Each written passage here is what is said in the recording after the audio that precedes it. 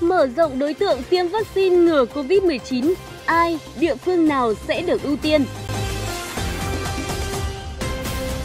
Theo quyết định của Bộ Y tế, toàn bộ người dân trong độ tuổi có chỉ định sử dụng vaccine theo hướng dẫn của nhà sản xuất, trong đó ưu tiên các lực lượng tuyến đầu phòng chống dịch và lực lượng tuyến đầu trong thúc đẩy phát triển kinh tế. Như vậy, nhóm đối tượng được tiêm ngừa đã được mở rộng ra nhiều lần so với nghị quyết 21 áp dụng trước đây. Cụ thể, các đối tượng được tiêm ngừa sẽ mở rộng như sau. Người làm việc trong các cơ sở y tế, ngành y tế, công lập và tư nhân, người tham gia phòng chống dịch, tổ COVID-19 cộng đồng, thành viên ban chỉ đạo phòng chống dịch các cấp, người làm nhiệm vụ tại các khu vực cách ly, tham gia truy vết, tình nguyện viên, phóng viên, vân vân, lực lượng quân đội, lực lượng công an, nhân viên ngoại giao của Việt Nam và thân nhân được cử đi làm việc tại các nước, nhân viên ngoại giao, lãnh sự.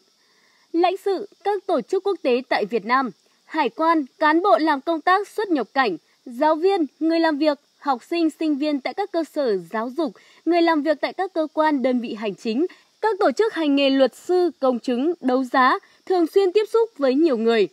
Người mắc các bệnh mãn tính, người trên 65 tuổi, người sinh sống tại các vùng có dịch, người nghèo, các đối tượng chính sách xã hội, người được cơ quan có thẩm quyền cử đi học tập, công tác và làm việc tại nước ngoài hoặc có nhu cầu xuất cảnh để công tác, làm việc và học tập ở nước ngoài, chuyên gia nước ngoài làm việc tại Việt Nam, người lao động, thân nhân người lao động đang làm việc tại các doanh nghiệp, bao gồm các doanh nghiệp tại khu công nghiệp, khu chế xuất, doanh nghiệp kinh doanh vận tải, tín dụng, dịch vụ, cơ sở dịch vụ thiết yếu như nhà hàng ăn uống, lưu trú, ngân hàng, chăm sóc sức khỏe, dược, vật tư y tế, bán lẻ, bán buôn, chợ, công trình xây dựng, người dân ở vùng khu du lịch, các chức sắc, chức việc tôn giáo,